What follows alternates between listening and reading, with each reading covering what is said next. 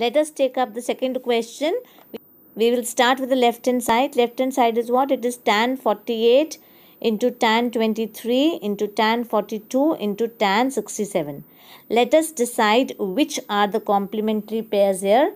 48 and 42 sum is 90 and 23 and 67 again the sum is 90 so we will change one of them to 90 minus theta. So tan 48 into tan 23 we let them remain as it is. Tan 42 we change to cos of 90 cot of 90 minus 42 degrees. Tan 67 again we change to cot 90 minus 67 degrees. So we are left with what? Tan 48 which remains as it is tan 23 which is again like this the same the way it was.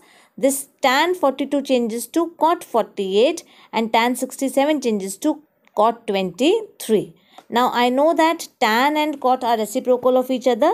So again tan 48 and tan 23 we let them remain as it is. We change cot to 1 upon tan 48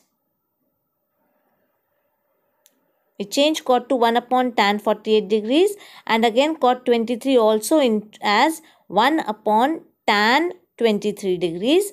Now tan 48 and tan 48 cancels. Similarly tan 23 and tan 23 also cancels and we are left with 1. So final answer for this is 1 which is equal to RHS and hence it is proved. So we write hence proved after that.